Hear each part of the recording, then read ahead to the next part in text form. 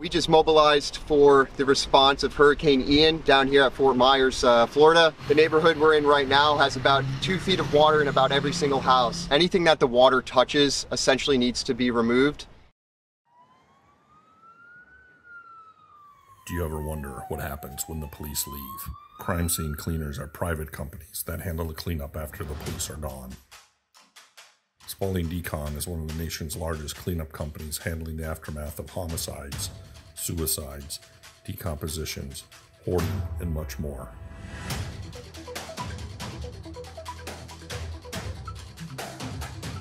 These are our stories.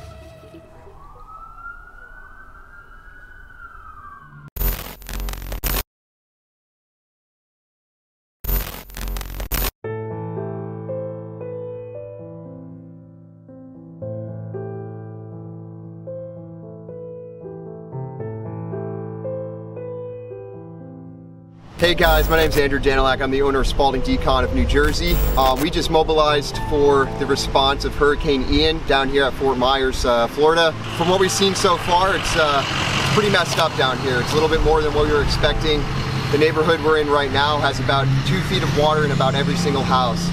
Um, so what we're doing, uh, we're just kind of helping the families, making them feel comfortable about the situation coming in, providing estimates, quotes, and then gutting the interior of the homes essentially.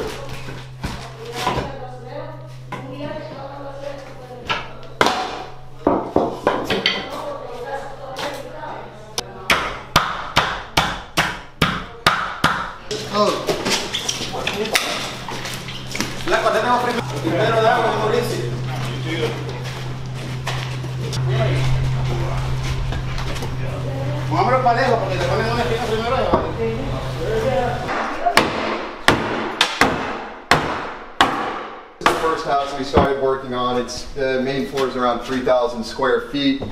What you guys are seeing is the garage. We actually had about four feet of water here. This is the water line uh, for here in the garage. So everything in here was completely destroyed. In here, you'll see that we're just ripping up floor, removing all the doors, removing the sheetrock. Uh, the water line was about here inside of the house. Um, little less than two feet, and we're making about a four foot flood cut around the entire house. Upstairs, fortunately, was unaffected. Um, there was no broken windows, you know, roof wasn't leaking, so we don't even have to go upstairs at all. But as you can see, this place is massive and it's going to take days to dry this place out. Um, if you want to loop back around here, you can see we're starting the demo on the kitchen. We got to save all of these countertops. I think this uh, this poor homeowner just spent around 140k on this kitchen less than a year ago. So we're saving as much as we can and uh, demoing the rest. Once we get this place cleaned up, remove the rest of the, uh, the walls, flood cuts, flooring, we are going to HEPA vacuum, fog, spray antimicrobial, and then we're going to prep the equipment for the dry out portion.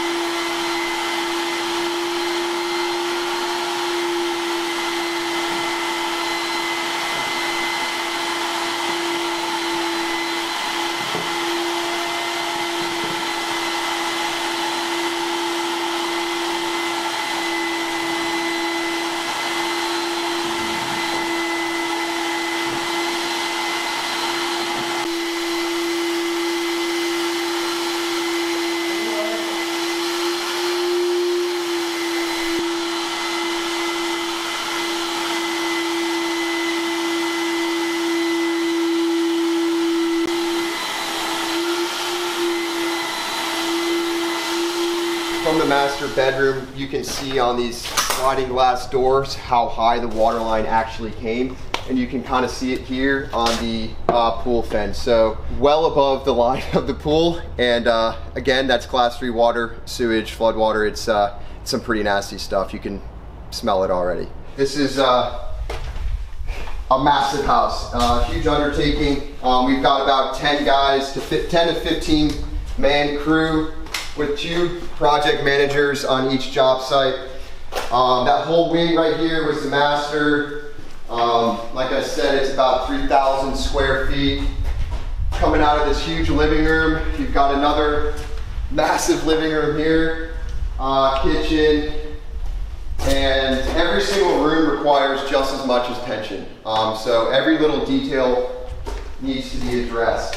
Um, bathrooms here.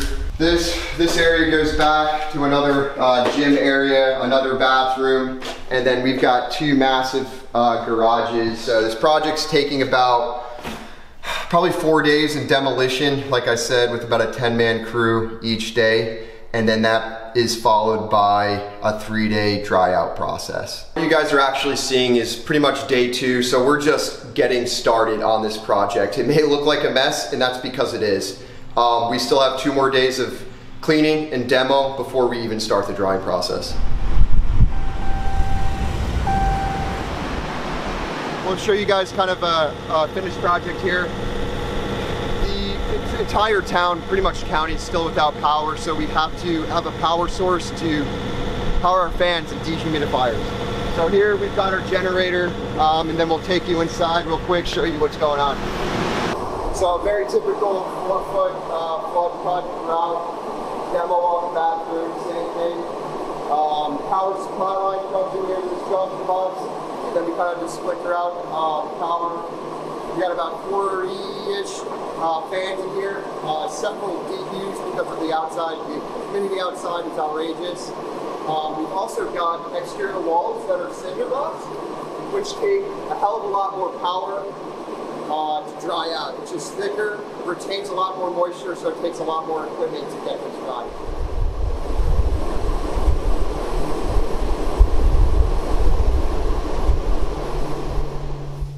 So at the end of the day, it's about 5.30 right now. Um, we're just prepping all of the properties for tomorrow. So getting generators in the right spots, uh, making sure we have, you know, extension cords, all the shop vacs, power washers, everything that we need. And then if you come over here, we're kind of just resetting, doing some uh, accountability for our equipment, cleaning the vans, uh, just getting ready for tomorrow.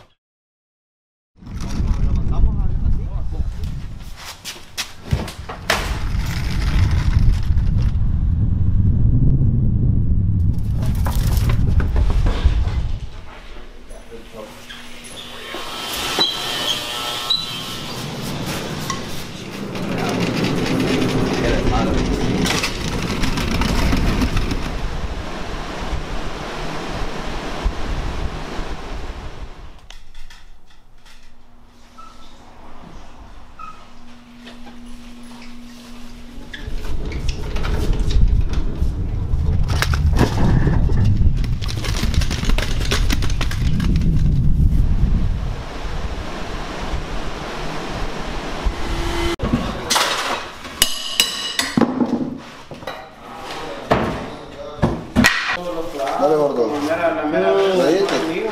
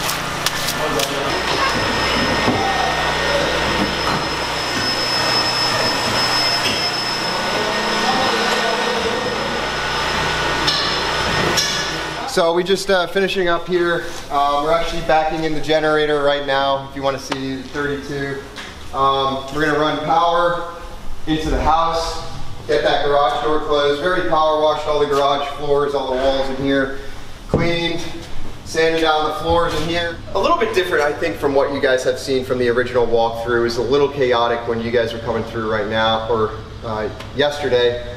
But as you can see, we pretty much just cleaned everything up, took all the nails off the 2x4s, swept everything, cleaned everything with floor cleaner, antimicrobial, uh, sanitizing, ripped out all the rest of the bathrooms, and got the rest of the floor to look pretty good. So at this point, we're just getting more equipment. You can see all the dehues are kind of daisy chained uh, together right now, or the air movers.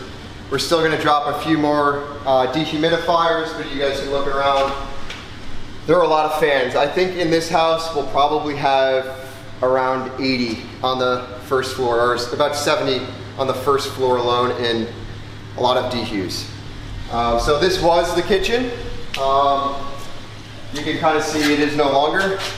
Everything was cut out. All the countertops, thank God, were saved. The homeowner uh, requested that we tried our best to save the countertops, and we actually able to save every countertop inside of this entire house. Um, the fridge, fortunately, I think the motor's on top. It's a $20,000 fridge. We were able to save that too. We're getting uh, more equipment from a house that we're actually just finishing right now. We just got the relative humidity to the point that we need it to be, and we're going to move that equipment to this property, and uh, we're done for the day. Thanks for watching, guys. Don't forget to like, share, subscribe, and ring that bell to be notified of the next episode. For more information, visit any of our locations.